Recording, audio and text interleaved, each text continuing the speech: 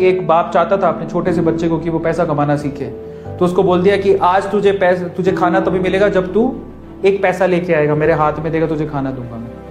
तो वो गया तो अपने चाचा के पास चला गया। चाचा को बोलता है, चाचा, आज पापा ने कहा है कि मुझे पैसा तभी मिलेगा जब मेरे हाथ में एक रुपया होगा, एक एक पैसा होगा, एक रुपया होगा, जो भी। तो चाचा ने उसको एक रुपया दे दिया। समझ में आ रहा है? चाचा ने एक रुपया दे दिया। अब वो भागते हुए पहुँचा, पापा, ये लो एक रुपया। पापा ने वो पैसा, एक रुपया कुएँ में डाल दिया। हट। ठीक है? उसको दे दिया खाना। अगले दिन भी यही बोला।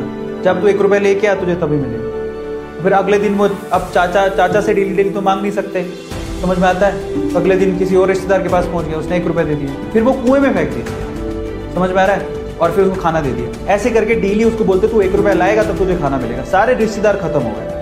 और जिस जिसे मांग के ला रहा था, उन रिश्तेदारों को पापा ने बोल दिया कि अगली बार तूने पैसा दिया, मेरे बच्चे को तो तेरी खैर नहीं। एक दिन ऐसा था कि वो चाचा के पास गया, पापा के पास गया सॉरी चाचा के पास गया, ताया के पास गया, सबके पास चला गया। समझ आ रहा किसी ने उसको पैसा नहीं दिया। अब उसको पता लगा कि अब एक रुपया नहीं दूँगा तो भूखा मरूँगा। तो उस बच्चे ने निराश, हताश होके वो गाँव में घूमता रहा, घूमता घूमता रहा।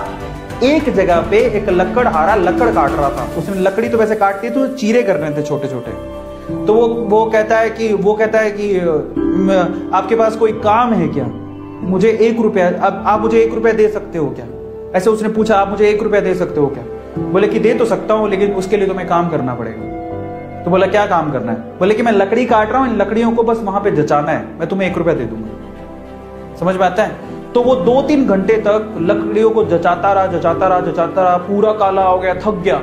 और फिर जब उसने एक रुपया हाथ में देखा ना, उसने दिया, उसको काम करने के बाद एक रुपया हाथ में, उसने इसको मुट्ठी में बंद कर दिया।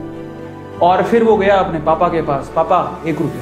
ऐसे खोल के दिखाया, पापा, एक रुपया। पता है तो समझ तो गए थे कि इस बार ये मेहनत से कमा के लाया क्योंकि सारे रिश्तेदार को तो मना कर दिया था। फिर भी एक रुपया लाया तो मेहनत से कमा के लाया हो। फिर भी उसके पापा ने क्या किया, पता वो एक रुपया लिया और कुएँ में फेंकने की कोशिश करी। ऐसे, फेंक ही रहा था तो वो ज़ोर से चिल्लाया, पापा, ये मेरी मेहनत के पैसे, प्लीज़ इसे मत फेंक।